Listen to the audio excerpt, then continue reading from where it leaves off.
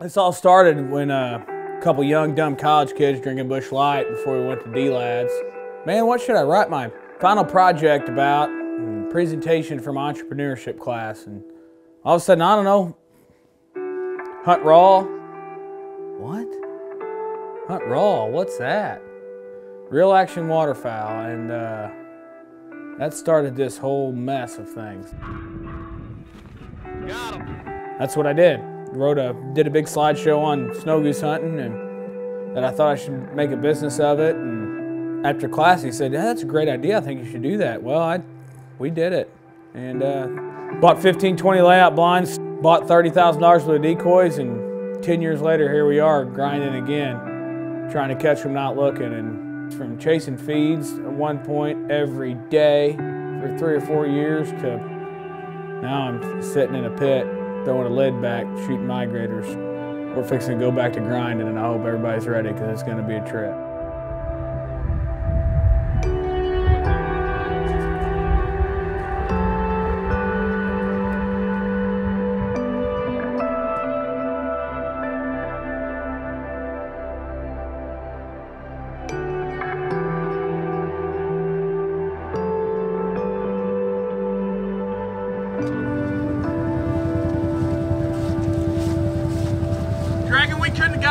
Have got any luck here. You realize that? I'm glad it rained eight inches. You load me up. I'm ready to go. I'm looking pumped up. This looks dialed in. I'm ready to go, Brad. No mud. Look at old Faithful coming out of retirement. Did you have Kindle Oh, he kicks like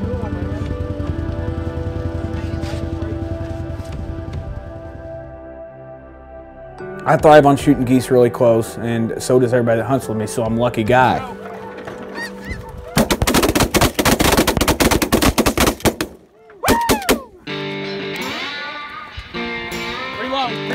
Back.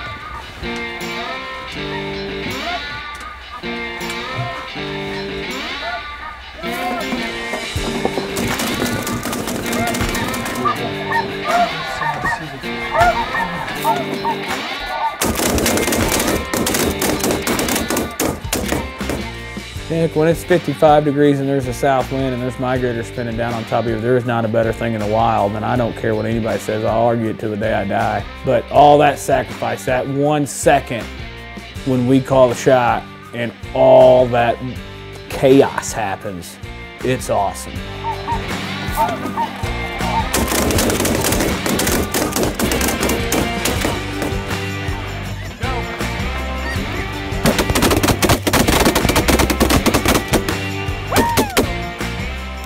And it's it is something. All the water splashing and all the giggles because you just can't fathom 12 guns going off, you know, 125 shells going off a case of a case of bullets every time I say go.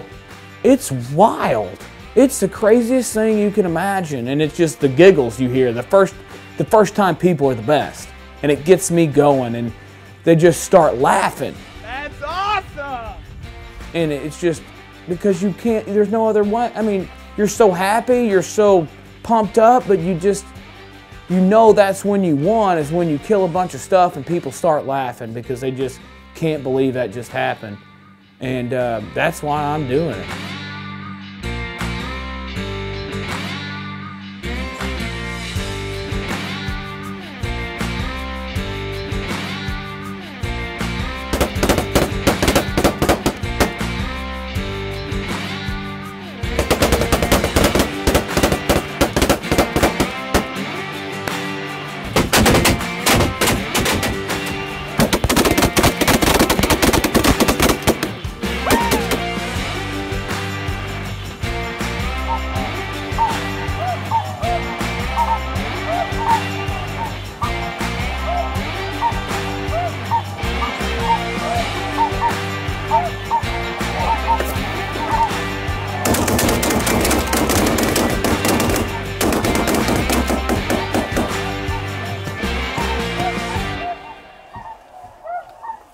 swinging out front.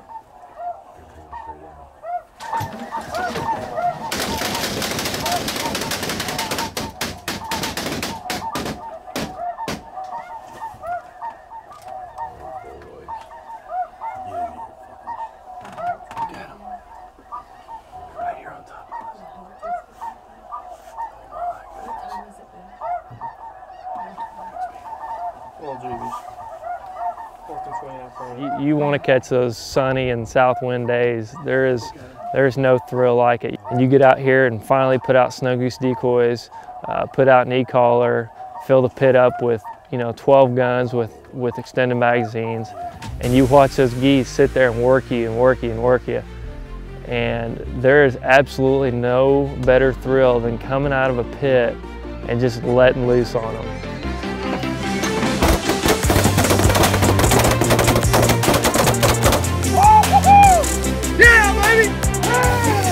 One more!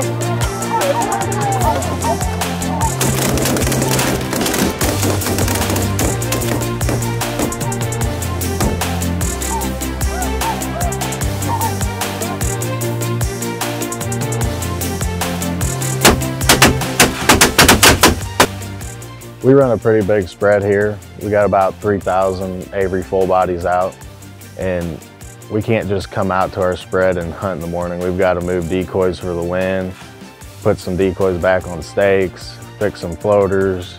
Not many people understand the work that goes into this spread. There'll be days where with heavy winds, where tornadoes come through the area and there'll be decoys spread out across 200 acres. And it really gets to be a mess sometimes, but if you can imagine, it's a lot of work. We usually have to get out here about an hour to two hours early to get everything situated and ready to hunt.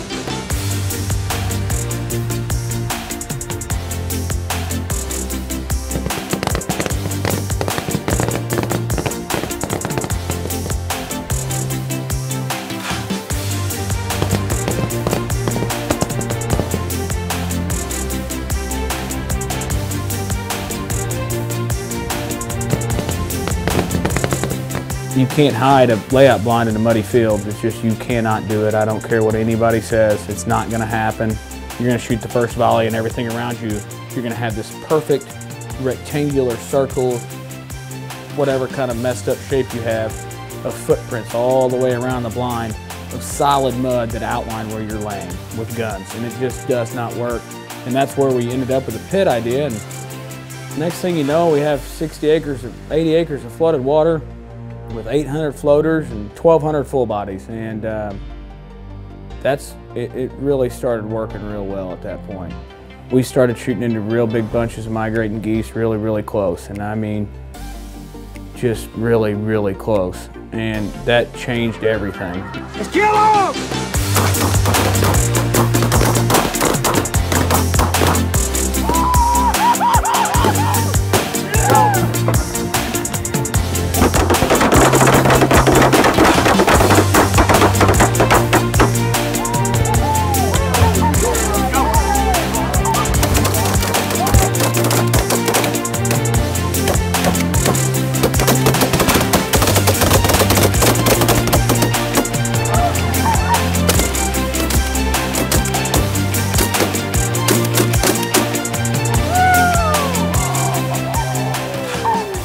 The amount of sacrifice and time it takes to make all this go, you know, there's always a weekend in January where we get together or during duck season when we shoot a limit in the morning, then we work on drilling holes in full bodies and putting loops in them, or we work on going through rotaries and getting things working, or fixing flyers, or goodness, camo in the pit, or building the pit lid. But, you know, the amount of sacrifice from Greg and Mills and everybody involved is crazy. It's just insane to think about what we do and to explain this to other people is really hard. But uh, you know, we're gonna we're gonna start this guiding deal again, and and we're gonna sit in the pit.